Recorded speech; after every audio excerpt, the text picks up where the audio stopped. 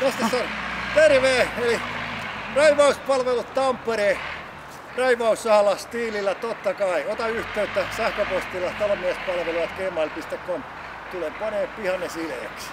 Se on moro komeet sano toisillaan ja jatketaan hommia. Polskis!